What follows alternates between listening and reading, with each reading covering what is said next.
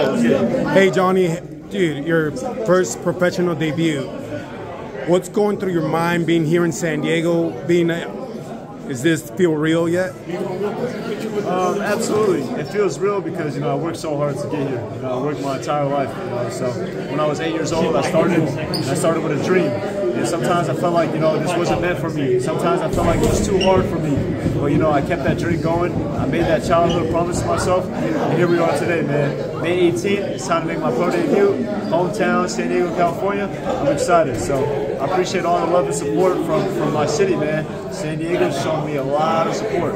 Shown me a lot of support. So I'm excited to start off on a great platform like ESPN, and it's a blessing. So stay tuned. How special was it when you received the call and said, "Hey, your first fight's going to be in your hometown of San Diego at the sports arena"? Man. I was so excited. You know, it was something that I actually always dreamed of. Like I, I've, I've had so many conversations with, with my team. Like I want to fight in the Pechanga Arena. ESPN is down here. The Zone is down here.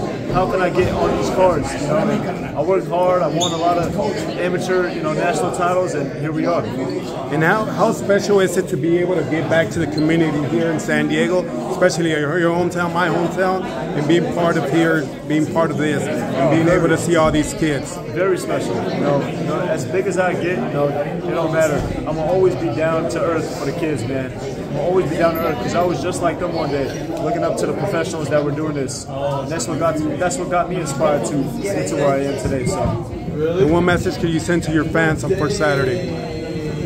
Be ready for a great magic show, baby. May 18th, you know, appreciate all the support. Thank you for all the support from my fans, my family. Know, thank you to my team for preparing me. And May 18th is the start of a very big future. All right, thank you, Jonny. Thank you.